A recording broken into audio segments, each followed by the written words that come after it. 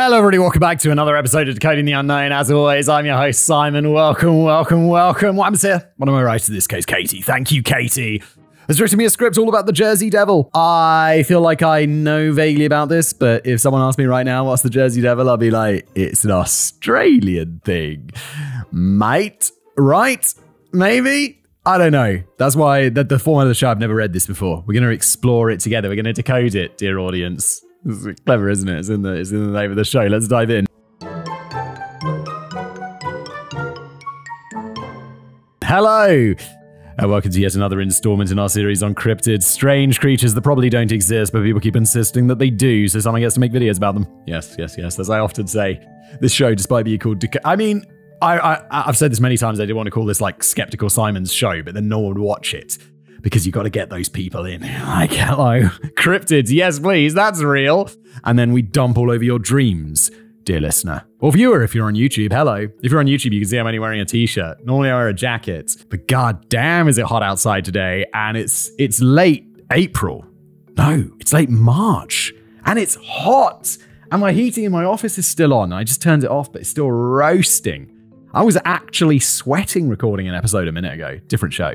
It's like just beads of sweat falling down my head. So I was like, I gotta lose the jacket. Just gotta do it. If you're tired of sacrificing style for practicality when it comes to your footwear, well, say hello to today's fantastic sponsor, Vessi. Look, spring is here, summer is around the corner, and it's the perfect time to get a pair of shoes that are going to suit those new seasons, especially spring, because these things are made with something called Dymatex, which makes them 100% waterproof. They don't look like waterproof shoes in any way whatsoever, but up to this point, you can be like this deep in a puddle and you'll be you'll, you'll have completely dry socks. And in spring, you know, unexpected spring showers and all of that, these will keep your feet dry. This one is the Stormburst low top. This is the newest edition. I've actually had a pair of the high tops for a while in white, which I've very much enjoyed wearing, but now spring is here. Switch to the low tops. They've got excellent grip, perfect for rainy days, and of course, 100% waterproof. Then there are the weekend sneakers, great for any activity. They're not sweaty either. Like summer is here, you might think, oh, it's waterproof, I'm going to get really sweaty feet. You don't. It's uh, sort of like magic. I wear my Vessies just year round, and you don't even have to think about it. So you can discover more at vessi.com forward slash unknown forward slash and get ready to stay cool and dry with an automatic 15% discount off your first purchase at checkout. Thank you to Vessi for sponsoring the video. And now back to today's episode. Today we're taking on the Jersey Devil, or should there be the Joyzy Devil, a cryptid, as it turns out. I knew precisely zero about. Okay, Joyzy. Joyzy. That sounds like American though. Joyzy Devil. I don't know. That's that sounds like British. Oh god, I'm terrible at accents. At first, I thought, here we go again, another obviously not real creature that sounds so far fetched. I wonder what's in the drinking water. But then, as I read more about it, there's actually a surprisingly interesting historical aspect to the whole thing. Well, I found it interesting anyway, and I hope everyone else makes it that far, as it's at the end, as we're going to get the weird stuff out of the way first. So let's go. A devil's playing field. Did you know that New Jersey, okay, never mind, not Australia. I guess that makes sense, Jersey being in the uh, Jersey. The only thing I know about Jersey is called The Garden State because of that excellent movie with an even better soundtrack called Garden State. It's about Jersey. and there's also that show, The Jersey Shore. We have, I think we have like our own show in the UK about Essex. Essex is like our version of New Jersey in the UK. Did you know that New Jersey is the only state in the US with its own official state demon? It's got all the usual state living insignia. You've got your brook trout being the state fish, the beautiful violet being the state flower, the eastern goldfinch being the state bird, and the Jersey devil being the state demon. So, what is this thing? Well, let's hear the origin story of a legend that's lasted for hundreds of years. Back in 1735, the Leeds family lived deep in the Pine Barrens area of New Jersey. Japheth Jap, Jap, Japheth? Japheth. That's a name people don't have anymore. Japheth Leeds and his wife, who was also known as Mother Leeds, already had 12 children. So when Mother Leeds found out she was pregnant again with number 13, she cursed and spat, Let this one be a devil. On a dark and stormy night, her 13th child was born at first, and all seemed fine. But then, what was initially a human baby boy suddenly sprouted fur, wings, and a tail. With a blood curdling scream, it attacked everyone in the house, killing Mother Leeds and a midwife and flew up the chimney, disappearing into the million square acres of the Pine Barrens. Katie, did you say that this was real? Because this is obviously not real. Also, if you don't want to have 13, it's not like 1735. I know people are like, oh yeah, they didn't have birth control. People had so many kids. Fun fact, um, how to say it in a in a coitus interruptus. I think is what it's is the medical term. That is a very effective method of birth control. Surprisingly effective, and people have been able to do that forever. So if you've had 13 kids, don't be like, well, there were no condoms, there were no pills, there was no vasectomy. It's just, uh, yeah, you had you had effective birth control. You just weren't using it, were you, Mother Leeds? That's why you got 13 children. From time to time over the years, people have reported encounters with the Jersey Devil, originally known as the Leeds Devil, which have ranged from attacks on farm animals to mysterious footprints to a spate of hundreds of sightings over the course of a week in January 1909. The longevity of the legend is clear, as many current day weird experiences that people have had in the area are credited to the Jersey Devil and photos, such as one taken in 2015 and another taken by a father and son in 2018, continue to give life to the story. Guys, what is it, some sort of magical creature? When was this? 1735. What, it's still alive 300 years later? I mean, I guess it could have had kids and stuff. But then if it did, then there'd be a lot of them, wouldn't there? They'd be everywhere because it's been 300 years. There'd be like a colony.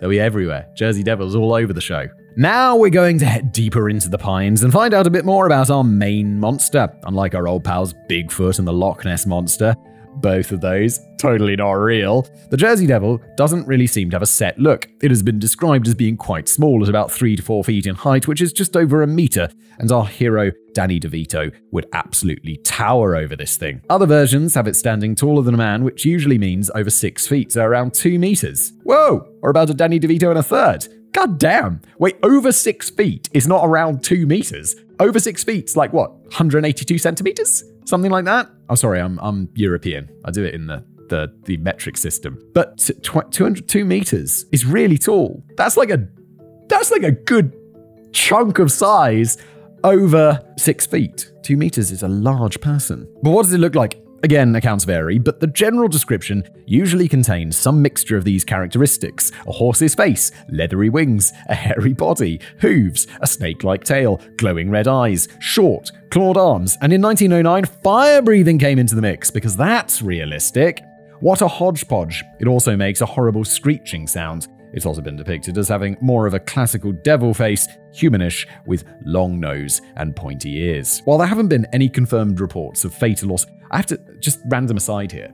I'd love to learn to fire breathe. I think I think when I was a kid, I'd see I saw fire breathers and I was like, God damn, how? That's so cool. Because you take a swig of like um, ethanol or water and ethanol or whatever, you put it in your mouth, and then you're like while lighting it.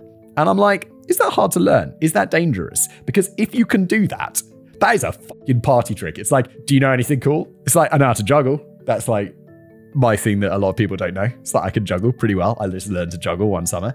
And learning fire breathing would be sick. Maybe I'm in the wrong career. Maybe I should join the circus. Yo, ChatGPT. Uh, fire breathing's pretty sick, right? Do you think it's possible? How long would it take me to learn fire breathing? And is it dangerous? Yeah, fire breathing is a pretty impressive performance art. It's definitely possible, but it requires a lot of skill, practice, and safety precautions. How long it takes to learn can vary greatly from person to person. It might take a few weeks to get the basics down, but mastering it could take much longer, even months or years, depending on how often you practice and your commitment to learning the techniques safely. Fire breathing is quite dangerous, both for the performer and the audience. The risks include burns, fire hazards, and health issues from inhaling or ingesting the fuel. Uh, because of these dangers, it's super important to learn from a professional instructor who can teach you the correct techniques and safety measures. Okay, that's kind of sick. I kind of want to learn how to how to learn how to fire breathe. I really enjoy those YouTube channels where people learn skills. Should do one of those. Just fire breathing. While there haven't been any confirmed reports of fatal or even serious attacks on humans, unless you count Mother Leeds and other people present at its birth, the Jersey Devil is known for its menacing presence, its penchant for livestock, and in the past it was marked as a harbinger of doom and blamed for all manner of things from droughts to damaged trees. It usually comes out at night, and because of the many sightings throughout a large area of the decades, it's now firmly moved from a spooky story told in the woods to being a big part of the state's culture. And what of those sightings? Are any of them credible? Were any of the witnesses, say, the brother of a very famous French emperor and military commander? It's got to be Napoleon, right? Wait, Napoleon's brother has an in- has an interaction with the Jersey Devil. Okay, I mean, it maybe not Napoleon. Why, yes, there were. Thanks for asking. I don't know much about Napoleon Bonaparte, but he had a brother called Joseph, who was no slouch himself in the leading stuff stakes, being king of Naples for a while, and then moving on to be king of Spain, as one does. I like how this guy's king of Naples and then king of Spain, and he's like the lesser known Bonaparte. it's like never heard of him. Anyway, after it all went a bit tits up for his brother, Joseph moved to America and bought a nice big, big plot of land in New Jersey in a place called Bordentown. According to AmericanFolklore.net, the story goes like this. One snowy afternoon, the ex king of Spain was hunting alone in the woods near his house when he spotted some strange tracks on the ground. They looked like the tracks of a two footed donkey. Bonaparte noticed that one foot was slightly larger than the other. The tracks ended abruptly as if the creature had flown away. He stared at the tracks for a long moment, trying to figure out what strange animal might this be. At that moment, Bonaparte heard a strange hissing noise. Turning, he found himself face to face with a large winged creature with a horse like head and bird legs. Astonished and frightened, he froze and stared at the beast, forgetting that he was carrying a rifle. For a moment, neither of them moved. Then the creature hissed at him, beat its wings, and flew away. My, my daughter is now terrified of peacocks. we were at like a is this like big outdoor kids play park and they got like animals roaming around and and like we're standing there and I'm like and like you know we're going on like I don't know some swing or whatever. And then there's a peacock and it comes by and it puts out all its feathers. And I'm like hey hey uh, I call my I call my daughter Romulus on the internet. Romulus! Sorry Remus. Remus come here. Check out this uh check out this peacock. And she's like wow it's so beautiful dad. And then we're just looking at this peacock and then we decide, okay, let's let's go do something else. And then we're walking we're walking over, and she runs ahead of me, and the peacock chases after her with its feathers out, going ah, like making this screaming sound. And she runs away, and she seems totally fine. And then she just bursts out in tears. And now she has like a complex around peacocks because my wife bought like a, a new coloring book or whatever, and there was a giant picture of a peacock, and she like she says, "I don't want to color that one in. I don't like that one." it was kind of scary. she was now terrified of peacocks. Poor little Remus. This was around the 1820 mark, making it quite an early sighting for the beast, and by a Bonaparte no less. I think that's the biggest celeb on the list of witnesses, the rest being normal people. Though AtlanticCounty.org notes prominent citizens or government officials were among the many who witnessed sightings of this creature. They included businessmen, postal officials, and policemen who had seen or heard the creature and saw his tracks left in the snow. So, Let's move to 1909 now, when between the 16th and the 23rd of January, the creature was spotted all over a wide area from New Jersey into the neighboring states of Delaware and Pennsylvania. Hoofprints were spotted in snowy paths and on rooftops, suddenly vanishing, as though whatever made them flew away. Small animals and chickens were being slaughtered. People reported seeing a horse headed creature with burning eyes. The term Jersey Devil hadn't yet been coined, so newspapers ran headlines such as Leeds Devil runs rampant in Jersey, Jersey biped has hoofs, uncanny tracks revive legend of devil seen long ago, many persons see Jersey's terror, and Weird Wild Beast has Jersey's nerve. These are like the most, you know, Weird Wild Beast has Jersey nerve, get your paper here, roll up, roll up. it's like the most old school. Like what? people had weird titles for shit in the past. If I called all my YouTube videos with titles like this, no one would click on them. like, why is this historical? Other terms were thrown around, such as hist, jabberwocky, spits fire, and wazzlebug.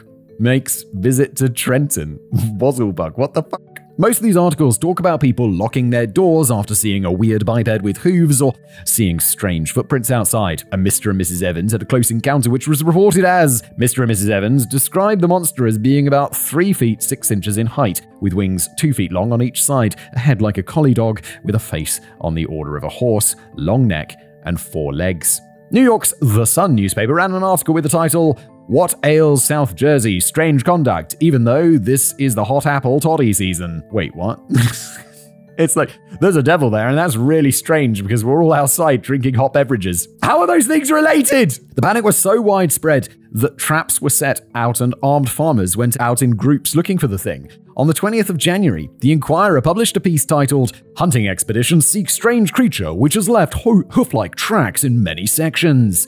It goes on to say, efforts of a party of young farmers living near Jacksonville to track the creature today proved fruitless. Hounds put on the trail refused to follow the tracks and with bristling hair and the picture of terror ran home. The farmers followed the tracks for nearly 400 miles when the hoofprints mysteriously disappeared.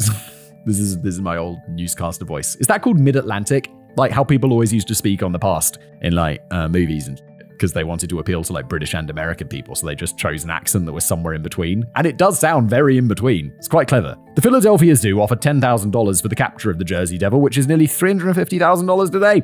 You may be unsurprised to learn that nobody claimed the cash. After a week of this panic, in which schools and factories also closed down as either a safety measure or because of lack of people turning up, the story eventually fizzled out.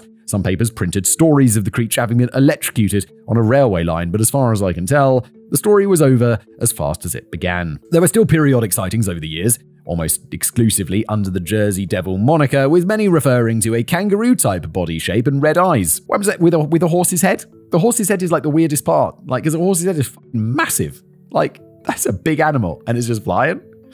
As a sort of pterodactyl. Pterodactyl has like a horse-shaped head, right?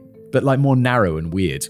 Even recently, there have been sightings with a photo taken by David Black in 2015 purportedly showing what he initially thought was a llama before it suddenly flew into the air. Michael Robinson and his son Stephen Coulter saw a wild creature in a field in 2018 and snapped a few pictures from what they estimate to be about 150 yards away or 137 meters. Why does Michael Robinson have a son with a different surname? That's the least important thing here, but I'm like, wait, that doesn't make sense. I'm sure it does. I'm sure there's a reasonable explanation, but I'm still like, that tripped me up. They are pretty grainy, but you can make out some vaguely horse shaped thing, which they described as ghost like and like a mirage. Oh, what a surprise. The picture of the cryptid is kind of blurry. it's 2018, you had iPhones. They also point out in a video on app.com from 2021 that they have driven all the way out to this field again four years after the initial encounter to talk about it, and if they were lying, they would have just said it was in the woods round the corner from where they lived in the first place. Um, wait, that's what they said? and it doesn't make. And it's like, oh, you obviously thought about it, didn't you? Which kind of discounts the whole thing. The Jersey Devil has made itself a popular presence in the cultural sphere too, with ice hockey team, the New Jersey Devils, being named after it. There's also the Jersey Devil Coaster in New Jersey's Six Flags amusement park, but this depicts the creature as more of an archetypal humanoid demon than as a horse headed kangaroo with wings. This may be because the statue used in the queuing system was repurposed from an old ride called El Diablo, so they just had to maintain a consistent devil throughout. so that's the cheapest way to do something. It's like, yeah, we need a new roller coaster. Well, let's just take the old roller coaster and, uh, I put a fucking horse's head on the devil and be done with it. The fifth episode ever of The X Files featured the Jersey Devil, which I was going to go back and rewatch but never got around to. But according to cryptids.fandom.com, quote, Unlike more common and fantastic descriptions, the Jersey Devil of the episode is instead likened to a feral humanoid or possible subspecies of mankind. While this flies in the face of all the traditional descriptions of the creature, the lack of special effects budgeting in the early episodes of The X Files undoubtedly forced the producers to make a more cost effective version of the creature. So there's 44 minutes of my life that I saved myself. Uh, I don't know. X Files is pretty good. I haven't seen it since I was a kid. It used to scare the shit out of me as a kid. I was watching the X Files way too young. I used to watch it on Friday nights before Friends. Friends came on at 10, and I think X Files was on from 9 to 10. And I'd always watch the X Files, and then I'd have to watch Friends afterwards, because otherwise I'd go to bed and have nightmares from the X Files. there are several movies about it, one of which, 13th Child from 2002, has an astonishing 2.9 out of 10 on IMDb, which still isn't as bad as Manos, The Hand of Fate, but it's definitely no Shawshank Redemption. It's also been featured in loads of books, other TV shows, video games, etc., so it's a bona fide member of the Cryptid Squad, even if its appearance has varied wildly over the years. Alright then, we've given it a fair shake. Now let's go back and decode this guy. Jersey. Sure. The origin story we're told at the start related to Mother Leeds, a woman who had already had a dozen kids, so cursed her 13th pregnancy, which then obligingly turned into a nightmare creature, which may or may not have killed her. Accounts vary. I can see where she's coming from, being so exasperated and whatnot, but maybe she could have done what my grandparents used to say in this situation and sewn Mr. Leeds' pajama bottoms up. Uh, oh. yeah, okay. Or they could have just used coitus interruptus. Saying that, it's, it's effective. It's like doesn't it have the, like the same effectiveness as condoms or something when it, when like executed properly? Never thought I'd be talking so much about coitus interruptus in an episode of Decoding the Unknown. Ah, there are other variations on this story, such as a girl being cursed by locals for being pregnant with a British soldier's baby, which was a big treasonous no-no at the time, and a girl being cursed by a gypsy for not having giving her enough food. But the mother Leeds one is the one that stuck, probably because the Leeds family was populous and gave its name to Leeds Point in what is now Atlantic County, New Jersey. The whole 13th child element has a creepy ring to it, adding a nice gloss of superstition to the story. Ah, oh, because 13's unlucky. I didn't even pick up on that. But hey, Guess what? Mother Leeds was actually a real person. Yeah, but the, her birthing a demon, then it running up the chimney after murdering her and everyone else, it's not real. It's not how things work. This is one cryptid tale that actually has some roots in real life, and they go even deeper than this, but we'll come to that later. According to findagrave.com, because spoiler alert, she's dead, Deborah Smith was a Quaker woman in 1685 in Burlington County, New Jersey. She married Lapth, Lap, Jap, Japheth Leeds, and they did indeed have 12 children between 1704 and 1726. What an exquisitely fun sounding 22 years for Deborah. Oh my god. I had my first kid in at the end of 2019. So, like, just as COVID was popping off. And it's now early 2024. And we've had, me and my wife had, a, have had a second kid in that time who's now two. And the first one's four. So they're all like two and a bit and four and a bit and it's all it's so much easier than it was at the beginning. I cannot imagine having 10 more. Oh, it would take up so much of your life. No, I don't. I love my kids.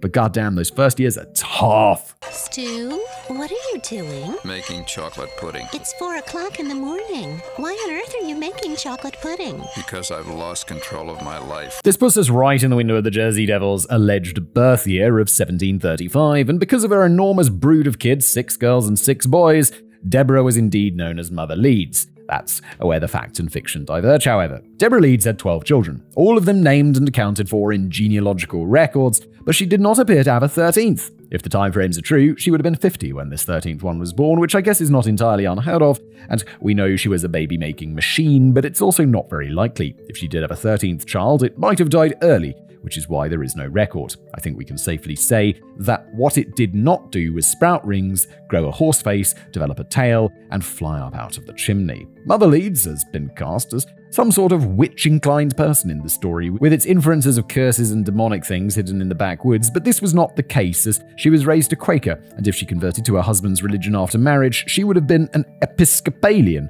which is a Christian denomination that's part of the Anglican community. Fascinating. that's it. The only thing I know there is like so you got Christians, then Anglicans, then Episcopalians. The only thing I know there is Christian. I don't know what an Anglican is. Neither of these entities encourages witchcraft, so it's likely that any salacious rumblings of what might have been going on in the Leeds house were just added afterwards to make the story more scary. The first sightings are given as having happened in 1735. However, I don't believe that there were any that early, and it was just the date given retrospectively for the birth of the devil. The next sightings of note weren't until the early 19th century with Joseph Bonaparte, etc., uh, which was around 80 years later. It was almost 100 years after that that the big newspaper panic of 1909 happened, and there have only been sporadic sightings since, with many inconsistencies in the appearance given by witnesses. In fact, when I saw some quite recent alleged encounters with the Jersey Devil on the website weirdnj.com, none of them sounded very similar, yet all claim it was the Jersey Devil. Mary Ritzer Christiansen described it like this, quoting, the figure stood taller than a man by far, had thick haunches similar to a goat's, supporting its nearly human looking torso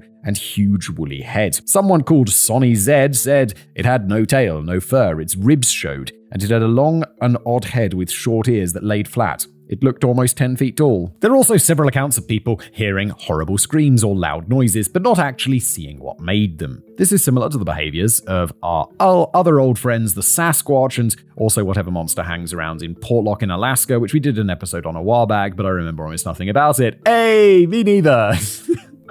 I don't remember nothing about this in about a year. I'm sure it was a good one, though. I'm sure it was Katie. Because of the varied descriptions of this thing, it makes it hard to even work out if everyone's talking about the same creature or whether there are, in fact, multiple weird things roaming about the pine forests of New Jersey. There's also, obviously, the power of suggestion, and it's easy to blame any unsettling encounters on the local folklore, as there are many mentions of people being told by local shopkeepers or whatever that they what, that what they experienced must have been the state demon, the Jersey Devil. Yeah, so anyone goes into the woods and sees something a bit weird, they're like, "Oh, it's that Jersey Devil." Tall was he? And the person's like, "Yes, horse's head. Yes, yes, yes, yes, yes, yes, definitely." It was very dark, but I did see that weird horse's head somehow flying like some sort of weird pterodactyl. For the record, Joseph Bonaparte did not see the Jersey Devil. He saw something that has now been forever enshrined as a large winged creature with a horse like head and bird like legs. And this was not a first hand descriptive account from JB's mouth. It's just what people are saying now. And he didn't think, Zuta Lord, the Jersey Devil. It was only a friend mentioning this later after Bonaparte told him of the sighting that linked the encounter with the legends. So, like, second hand. So basically useless and unbelievable. There we go. And even more damning, there's no actual written account by him anywhere of this encounter, so I think we could just chalk the whole thing up to being an exaggerated anecdote at best. And speaking of linking, let's fast forward to the Panic of 1909. While there were many, many articles from all over New Jersey and beyond giving eyewitness accounts and photos of hoofprints, uh, we can put this flurry of devil activity down to two things a kind of mass hysteria and a man called Norman Jeffries. Oh, okay. Hello, Norman. New character introduced. Who are you? And why are you fucking up history? We got a situation.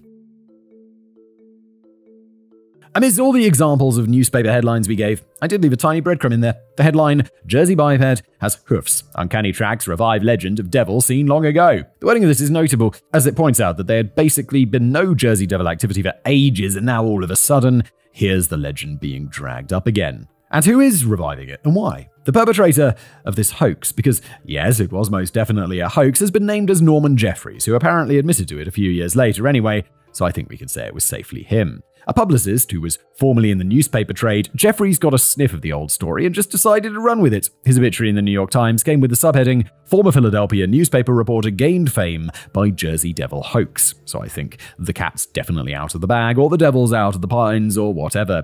It's kind of interesting. Like Norman what was his name? Jeffries? Norman Jeffries. This is the only thing like that you'll be. I remember making a video ages ago about some woman who like installed le- an illegal toilet or something in like the 1600s in London, and that is the only thing in the historical record about her that she installed some illegal toilet that went wrong and like dumped some shit of hers in the street or something weird like that. And it's always I don't know. I find it not, not depressing, but it's like just a little you know nihilistic, isn't it? Everything's kind of pointless. Like this is all he's remembered for. Some Jersey Devil hoax. That that's it. I'm sure he had led, led a rich, full life, old Norman, but this is the only thing that people remember him for. According to the Philadelphia Inquirer, which also published an obituary of Jeffries, reports that the Jersey Devil had reappeared aroused his showman instinct, and he used all the arts of a press agent to build up the belief in the legend. And build up belief he did. I'm not sure if it was him going around pressing horseshoes into the snow personally, but it was definitely him sending stories around various papers, which in turn whipped the public into a frenzy. In a 2019 article from the Philadelphia Inquirer called The Jersey Devil, the tale of a viral story from 110 years ago,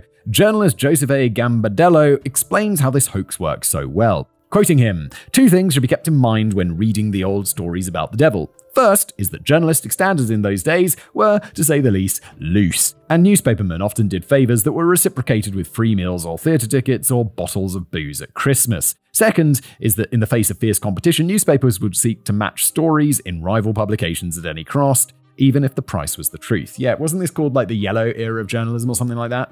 Where it's like, yeah, I mean, news was not really. I mean, there's a lot of fake news today, but in the past, it was even more like, it was just, you know, just stories were just made up. So basically, every paper was trying to outdo the others, and eyewitnesses may have been exaggerating, making it up to get their names in print, or were just totally fictional themselves. There was one hilarious alleged sighting that was printed, giving every stutter the witness said to convey how scared and out of breath he was as he raced to the newspaper office to tell his story. I'll just give you one part of the sentence as an example, but it was literally what the paper printed. I saw uh, only to two vivid eyes uh, and a sh- sh- shining row uh, of teeth and a g- g- glowing tail.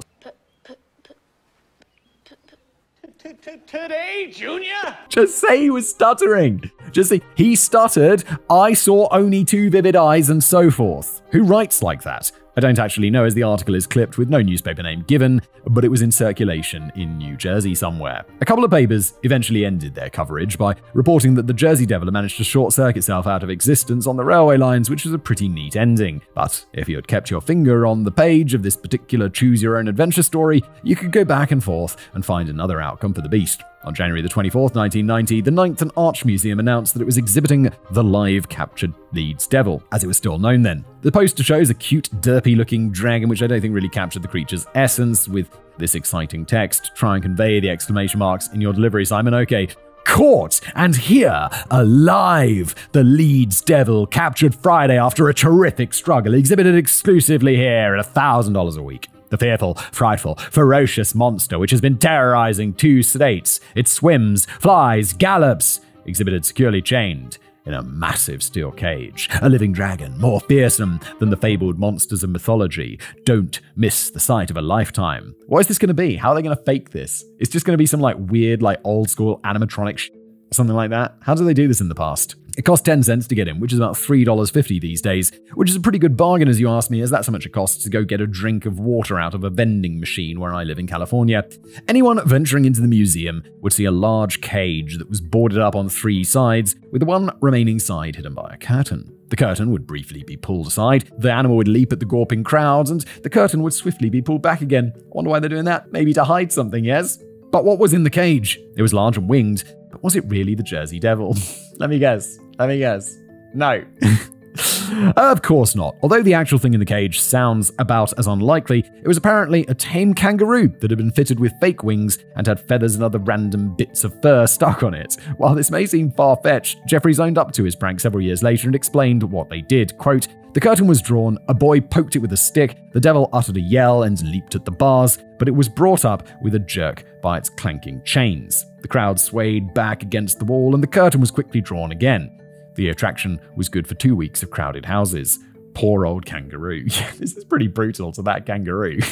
Ah, yeah, because animal rights and shit wasn't a thing in the past. People just do whatever the they wanted. It's like, what are you doing this week? Oh, yeah, we got the kangaroo thing. What's up next week? Oh, we're just going to torture a pig. Like, it hell. It seems that this was a last ditch attempt to save the ailing Ninth and Arch Museum, whose publicist was can you guess who? Norman J. Wow Jefferies. But it still closed down a few weeks later. So now let's move on to the more recent sightings. I mentioned a photo taken by David Black in 2015, but to be honest, it's totally laughable. While Black gives an interview with a straight face saying he saw something weird, the photo he took looks like a statue of a winged creature was thrown in the air. Even in the blurry photo, because of course it's a blurry photo, the thing looks rigid and not biologically able to fly due to the wings being too small to support the rest. Yeah, this looks super fake. like, come on. come on now. I'll show you the image. You'll be seeing the image on the screen, but for people just listening, it looks like one of those classic fake pictures of a cryptid. Maybe coincidentally, a video was taken of another flying creature on the same day, nine miles from Black's sighting. This video by Emily Martin was filmed in the alleged birthplace of the devil itself, Leeds Point. Black doesn't think this one looks exactly like his devil, but it definitely does look like a fake video. This was the general consensus from everyone who watched it, as the Jersey Devil was not once again catapulted into the headlines, unless you count ultra tongue in cheek things like, unfortunately blurry photo released of mystical Jersey Devil from Australia's Nine News website. That's the that's the attention it got. Some random publication in Australia. Although maybe Nine News is massive in Australia. Either way, it's like it's not a big deal. These crappy shots remind me of the Mothman episode we did where I scathingly called a photo supposedly taken of the Mothman in 2016 a laughable fake-looking attempt. The person who took the photos was never identified, but maybe it was one of these two pranksters trying their hands at another legend. The most recent maybe proof of the Jersey Devil comes courtesy of a 2018 series of snaps by Michael Robinson and his son, Stefan Coulter. Ah, the dude with the son with a different name. The pictures were taken from far away on a phone, and at first I thought the apparent creature in them looked very odd too. But the more I took a look at it, the more it just seemed to probably be a horse. It looks like a horse. I've got three frames here, which you'll also see on screen. If we can show the video without getting a copyright claim, we will. But it's a horse, ain't it? No shade on these guys, as they appear very earnest in their belief that they saw something they couldn't explain, but you do get the impression that they maybe might be more open to this kind of thing than other people. As Michael says in a video on app.com, something is going on and we tend to believe it's a paranormal experience. I believe that this land we stand on right now is haunted. Haunting's not real. This isn't a real thing. You guys just want to see a demon because that's what you believe in. Stefan then adds, Oh, it's probably one of the most haunted places in New Jersey, but it's unknown because of the legends circulating about the Jersey Devil. There's a lot more going on than just a creature that's, how do I put it, big talk to just Jersey. I think he meant something along the lines of a big deal, but its phrases like there's a lot more going on and the fact that they believe in the paranormal that hints that they might have jumped to conclusions that others wouldn't have yeah, if I took that photo, I'd be like, oh wow, look at that horse.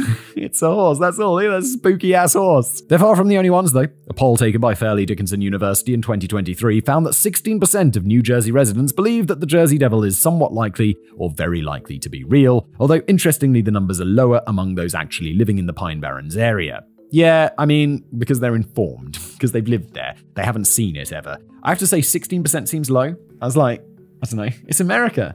I feel like it could be 40% or something. Younger people are also more likely to believe in it than older people, which makes me think that maybe they were just more excited to be asked about a cool old legend and probably answered more with their hearts than their heads. Okay, so going back to recent photos, neither looked anything alike, which goes back to the issue of lots of different descriptions coming under the heading of the Jersey Devil. But maybe we should let this play out for a bit, because it's possible that some people have actually seen something. And well, if they did, what could it have been? Devil's in the details. Where did the whole weird mishmash of horse face, bat wings, and a tail come from in the first place? It's possible that this description came from ceremonies carried out by native Lenape or Lenni Lenape people. While European settlers pushed most of them off their original lands in the 1700s, they still lived around Pennsylvania, Delaware, and New Jersey. The Lenape have a legend about a spirit called Murseng, which was also known as the mask spirit or living solid face due to its long face, of which half was red and half was black. The spirit is also traditionally described as humanoid, big and shaggy, which has also linked it to the Bigfoot legends. Although it's possible that unsuspecting Quakers might have witnessed a ceremony with a person dressed in a mask and wearing a bearskin cloak or suit, and that planted the seeds for the Leeds Devil story too. If it was just a ceremony of some sort, though, this mix up would probably have come to light at some point. But as time went on, the Devil's Claws just sank deeper and deeper into New Jersey folklore, with many sightings making mention of glowing eyes, wings, and a long face.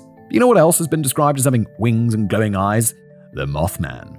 While his stomping ground is in West Virginia, it's not a million miles from New Jersey, and there are a few similar conclusions that we can draw as to what people might actually have been seeing. For instance, maybe a large bird.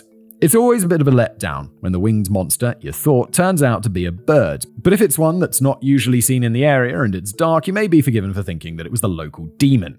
The sandhill crane is a good shout, as it's usually pretty large, reaching about at least a Danny DeVito height and can have a wingspan of up to two meters. God damn, that's a big ass bird. It also has a bright red patch around its eyes, and it can make quite a racket. The Pine Barrens is not its usual habitat, but something similar to a crane might have been responsible for at least a few of the sightings. Because the wings are a big part of most of the descriptions, it seems unlikely that it could be a normal ground based mammal such as a bear, but with some descriptions talking about long hoofed feet and horns, it may well have been a moose deer or even an elk, Uh, which were found in New Jersey until the early 1800s, apparently. Basically, if people were actually seeing something, it's probable that it was a real life animal that they mistook for something else. Yes, yes, yes, yes, yes, or they purposefully faked it, in my opinion. It could have also been a large predatory bird, like an owl or an eagle, carrying another animal away. Oh, that can make sense, making it look for a second like the winged creature also had arms or a tail. Just throwing out suggestions here. It could also have just been a big ass owl. And how about a hammer headed megabat? Is that a real thing? This is also a real thing. Okay, funnily enough, the initial reference I found to this was on the Find a Grave website, which suggested that maybe an African hammer headed fruit bat might have been brought over on a ship and escaped into the pines. How big is a megabat? Can a bat have two wing wingspan? That's like some proper Batman. Hey, it's a theory. These bats are the largest to be found in Africa and can have a wingspan of about a meter. Okay, that's not that big, but it's still pretty big. That is really big for a bat. That scared the shit out of me.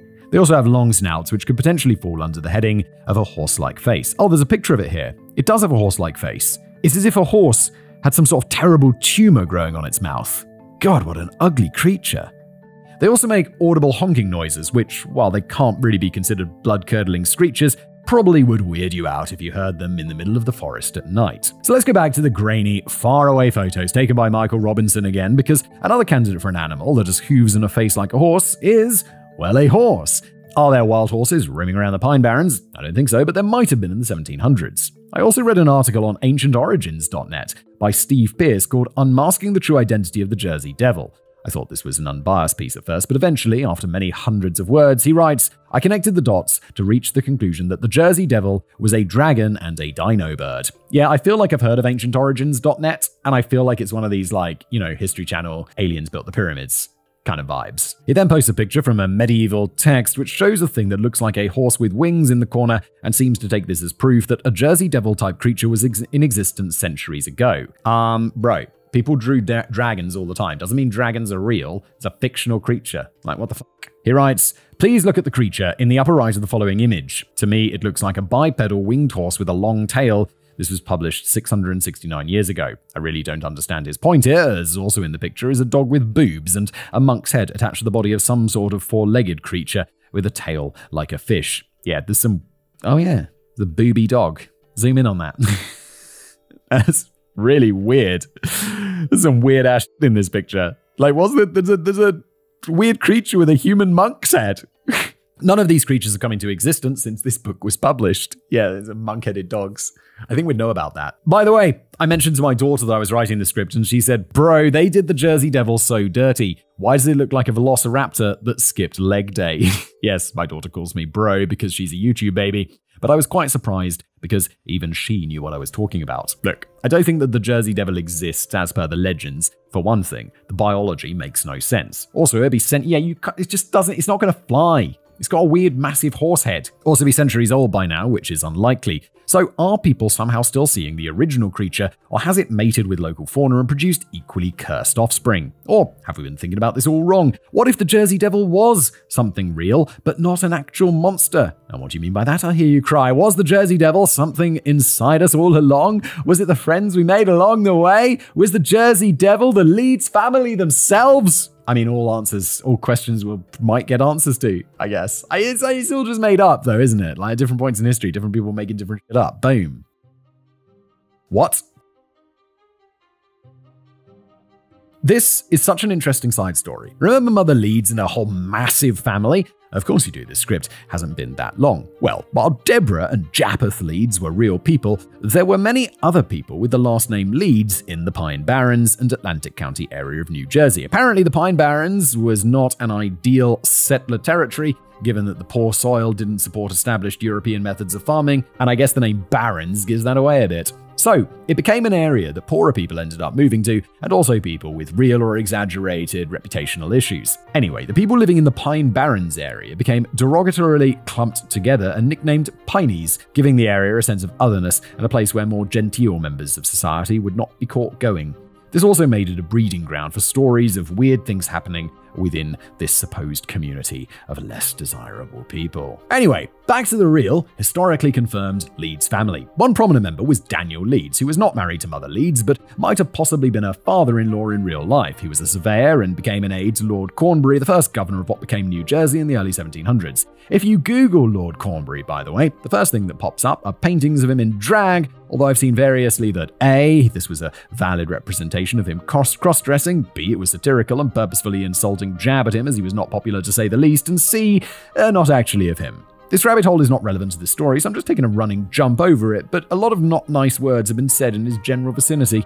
NYCLGBTsites.org calls him reputedly the worst British governor in America, and goes on to say his political enemies considered him half witted, drunken fool, a tyrant an embezzler, and unfit as governor. He was eventually removed from office. Anyway, Daniel Leeds was tainted by association to Cornbury, so he was already off to a bad start. But this was added to the fact that he already incurred the rage of his na- neighbors by daring to publish an almanac in the late 1600s. It wasn't the sports almanac, Back to the Future 2. It was a book usually aimed at helping farmers by collecting information on the climate, calendar, sun, and moon rises and other astronomical comings and goings. His American Almanac was not a hit among his fellow Quakers, who thought that it was too occult and used inappropriate language. This turned out to be an It's Us of the Almanac situation, with his Quaker group buying up all the copies of his first editions and then burning them. Unsurprisingly, this led to some bad feelings between the parties, and Daniel Leeds left the Quakers and continued publishing his almanac. It seems his interests were quite at odds with the general Quaker beliefs anyway, as in 1688 he published The Temple of Wisdom for Little World in two parts, which is subtitled The First Philosophical Divine, treating of the being of all beings, and whence everything hath its origin as heaven, hell, angels, men and devils, earth, stars, and elements. It's bloody long subtitle, mate. He also cranked out the anti Quaker the trumpet sounded out of the wilderness of America in 1699, so by the time he started working with Cornbury a couple of years later, he was already reviled within the community. Now you might be wondering what all of this has to do with anything, but things got so bad with Leeds periodically popping out anti-Quaker pamphlets as well as his almanacs that the founder of Quakerism himself, George Fox, ended up publishing his own pamphlets which didn't mince any words. One was called Satan's Harbinger Encountered, being something, by the way, of an answer to Daniel Leeds, which, according to the website owlcation.org, accused Leeds of working for the devil. Are some cogs starting to turn here? It gets even better. Daniel's son, Titan Leeds, name your kids whatever you want them to be, took over the almanac business when Daniel died and ended up in a feud with one of the future founding fathers himself, Benjamin Franklin. Titan is a badass name, though. If I had another kid, I'd call them Titan middle name of industry. Franklin had started his own almanac under a pseudonym in 1732 called Poor Richard's Almanac. I've heard of that. It was a hit, but in an early edition, he aimed a shot at the already established Leeds Almanac by saying, just published for 1734, Poor Richard, an almanac containing the lunations, eclipses, planets' motions and aspects, weather, sun and moon's rising and setting, high water, etc. Besides many pleasant and witty verses, jests, and notable sayings, thanks to the public for his last year's encouragement, of his wife's good humour, of his prediction concerning the hour, day, and minute of Titan Leeds' death. Mr. Leeds' character remarks upon the almanac published for 1734 in Leeds' name. He had previously given Titan's time of death as October the 17th, 1733 at 3:29 p.m., at the very instant of the conjunction of the Sun and Mercury. Predicting someone's death in print isn't cool, especially the supposed exact time in a popular publication. Needless to say that Titan Leeds didn't die, as per Franklin's prediction, but when he wrote about the issue in his own publication calling Franklin false predictor and conceited scribbler, amongst other things, Franklin carried on his hilarious joke by saying that it must be Titan's ghost talking to him and he must have risen from the dead. Franklin, Benjamin Franklin's funny dude. The feud went on for several years, with Franklin having a massive advantage, as according to HoosierKin.com, he owned and operated the printing house that churned out Titan Leeds, his main competitor's almanac. This crucial advantage allowed Franklin to read Leeds' attack and respond to them in Poor Richard's almanac before Leeds' publication even went to press. Sounds like old, uh, what was his name? The, the writing dude. It sounds like he needs a different publisher. Franklin's decision to commence and stir this farce of a feud did indeed boost his sales. Titan Leeds died in 1938, and Franklin did a callback to his supernatural jape in a 1940 edition of his almanac, where he wrote of Titan entering his brain through his nostril and writing, I did actually die at that moment, Leeds' ghost confessed, precisely at the hour you mentioned, with a variation of 5 minutes and 53 seconds. So let's put some things together, shall we? We've got an outcast Daniel Leeds writing all sorts of occult and eccentric stuff who has been publicly pronounced to be working with the devil. He had several wives, all of whom died. We have a son, Titan, being publicly accused of being a ghost, and he actually dies at almost the same time as the legendary Jersey Devil is supposed to have been born. Let's add one more factoid into the mix. When Titan looked over the almanac from his dad, he changed the cover to talk about the Leeds family crest, which featured three wyverns on a shield. In case you're wondering, I absolutely was. What a wyvern is, it's a mythical dragon like creature with wings, two legs, and a long tail. The three fighters on the 18th century covers of the almanacs not look not unlike some descriptions of what became known as the Jersey Devil. Yeah, fair play. I mean, it's a bit of a stretch, but you can see it. I'm looking at it right now. You're probably looking at it as well if you're watching it. But it's kind of just like one of those old school coat of arms drawings. So, I mean, really, it could look like anything. If you recall, the creature was originally known as the Leeds Devil. Might it not be the case that suspicion, prejudice, gossip, bad blood, and religious and political issues actually cast Daniel and or Titan as the titular Leeds Devil? The creature uh, we think of now wasn't really known as the Jersey Devil until after 1909. So has this whole thing just been a misunderstanding all along? Cryptids.fandom.com writes, it is possible that the creature's origins in the Pine Barrens from the Leeds family were a form of social discrimination taking the form of folklore. The creature's fearsome reputation, combined with the foul reputation of the family it came from, would only encourage locals to avoid the region for fear of being caught by the Jersey Devil. Cabs are here.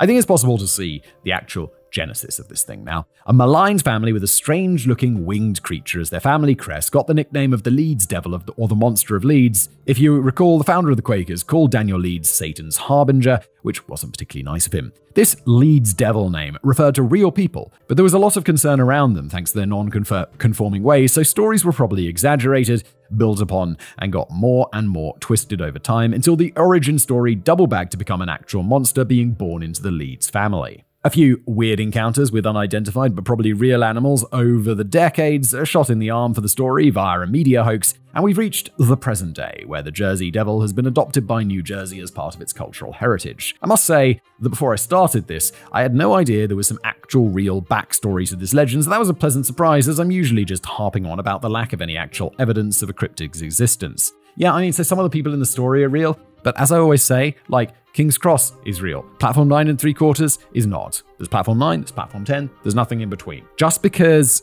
some elements of a story are true doesn't mean that the more fantastical ones are. Although it does add a good amount of legitimacy rather than just making it all up. So, Do you now believe that the original Jersey Devil was the Leeds family themselves, or are you convinced there's a horse-faced monster flapping around in the Pine Barrens? As usual, a lack of physical evidence or convincing or even semi-convincing photos or videos puts this creature in the category of the fictional, but at least this one has more interesting history than most. And one last thing.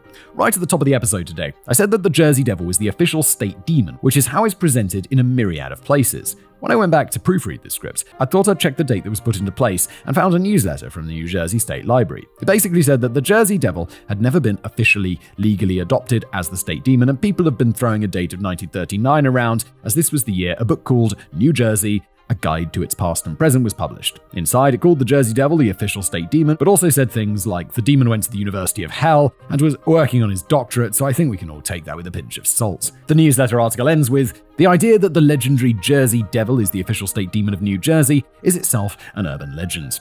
So while that will probably burst some people's bubbles, I'm glad I went back and checked. Yes, it's kind of how just misinformation goes around, isn't it? Just repeated and repeated. And that's where we end today's episode. Thank you so much for being here. If you're watching on YouTube, like and subscribe. If you're listening to us as a podcast, please leave us a review, a rating, wherever you get your shows Apple Podcasts, Spotify, all that good stuff.